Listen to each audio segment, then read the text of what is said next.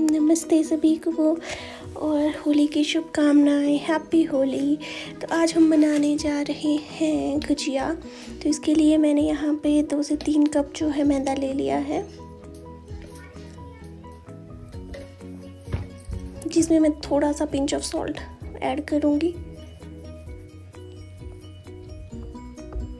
अब हम इसमें वन बाय थर्ड जो है, घी का घी को ऐड करेंगे। उससे कम भी चलेगा। आप क्वांटिटी के हिसाब से देख लीजिएगा। यहाँ पे मेरा घी गर्म था तो इस वजह से ऐसा हो गया। तो इस घी को हम अच्छे से मिक्स कर लेंगे पूरे मैदे में। और इसका डो जो है काफ़ी अच्छे से बना लेंगे। जैसे हम पूरी का डो बनाते हैं टाइट डो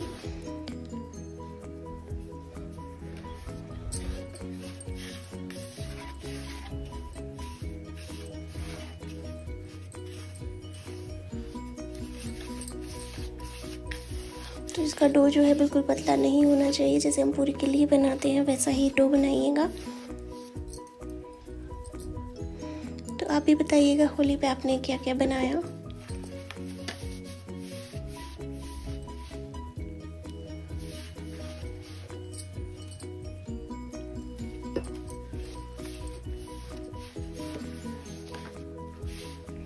यहाँ पे मेरा डो जो है बिल्कुल रेडी हो चुका है।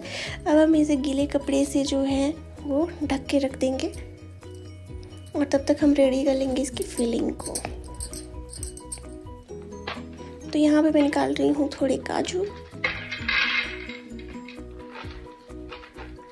और थोड़े आलमंड्स आप और ड्राई फ्रूट्स का भी यूज़ कर सकते हैं, बट मैंने यहाँ पे उसे स्किप कर दिया है। मैंने सिर्फ़ यहाँ पे जो है बादाम और काजू का यूज़ किया है, जिनको हम ग्राइंड कर देंगे इसके बाद। तो यहाँ पे मैंने बाज़ार का मावा लिया है, बना हुआ।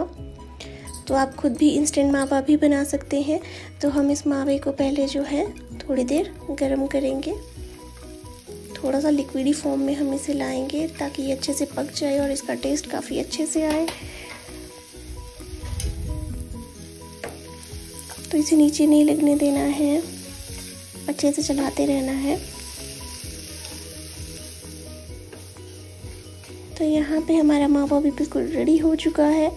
तो हम इसे निकाल लेंगे किसी प्लेट में। तो इसको निकालने के बाद हमने इसे निकाल दिया है।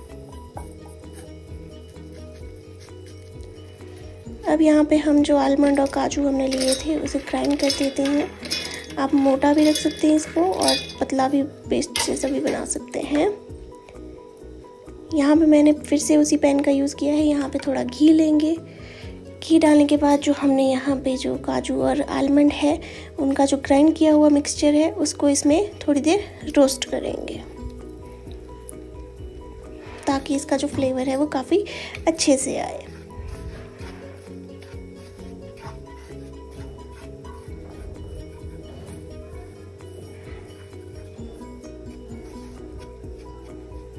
इसके बाद हम लेंगे यहाँ पे डेसिकेटेड कोकोनट आप चाहें तो दूसरा कोकोनट भी ले सकते हैं बट मेरे पास डेसिकेटेड पड़ा हुआ था तो मैंने उसका यूज़ कर लिया और इसे भी अच्छे से रोस्ट कर देते हैं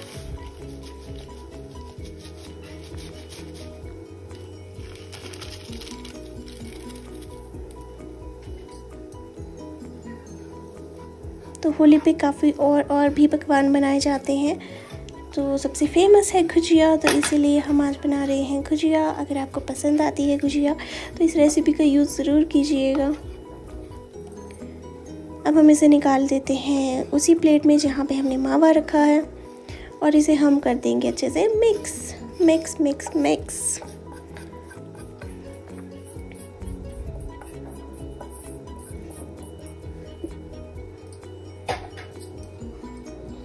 तो यहाँ हम देख सकते हैं कि हम इसे अच्छे से मिक्स कर रहे हैं। आप हाथ का भी यूज़ कीजिए, क्योंकि मैंने भी हाथ का ही यूज़ किया था।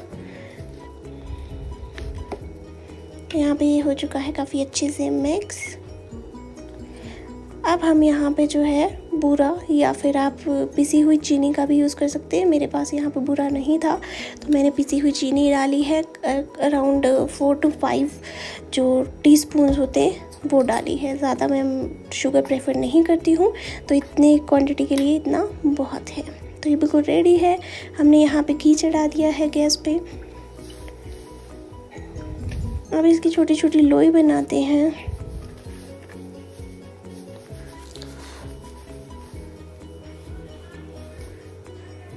तो यहाँ पे मेरे पास मोल्डर नहीं है।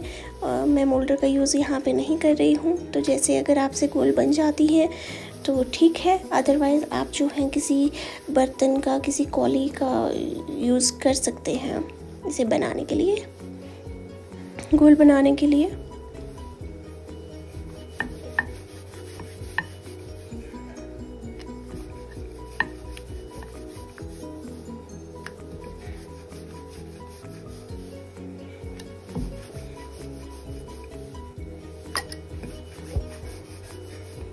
तो बिल्कुल परफेक्ट नहीं पर ये फिर भी बन गया है।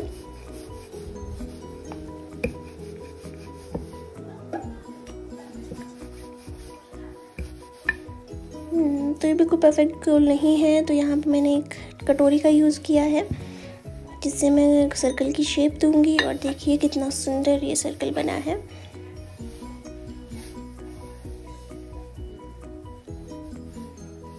तो अब हम इसमें कर लेंगे जी फिलिंग एक से डेढ़ चम्मच आप इसमें डाल सकते हैं अकॉर्डिंग टू जितना भी इसका एरिया है। और साइड साइड में हम यहाँ पे पानी ज़रूर लगाएँगे ताकि ये बाहर निकले ना। तो इसको मोमो की शेप में हम बना देंगे। आप अपनी मर्ज़ी से भी इसमें शेप दे सकते हैं। तो इसको इतना बाउंड करना है कि जो हमारा मिक्सचर है वो बाहर नहीं निकले।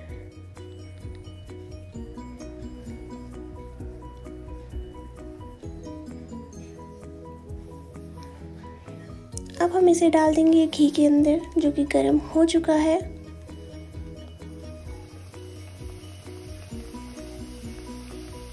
यहाँ पर मेरा घी काफ़ी गर्म हो चुका था, इसीलिए ये पूरी की तरह भी फुल गया था। बट यहाँ पे आपने जो है लो टेम्परे लो पे ही आपने इसे फ्राई करना है। डीप फ्राई करना है। तो ये देखिए, इसमें ब्राउन कलर आ गया है। और ये हमारी जो है गुजिया रेडी हो चुकी है। अब इसे निकाल देते हैं।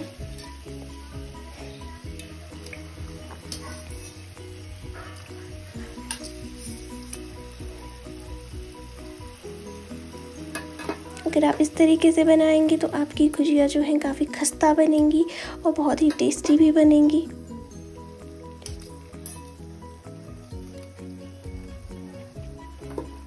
और जब भी आप डो बनाएँ, तब ज़्यादा घी का यूज़ नहीं करें, क्योंकि ये बाइंड अप नहीं हो पाता है फिर। तो अब सारे गुजिया को तल देते हैं और फिर करते हैं टेस्ट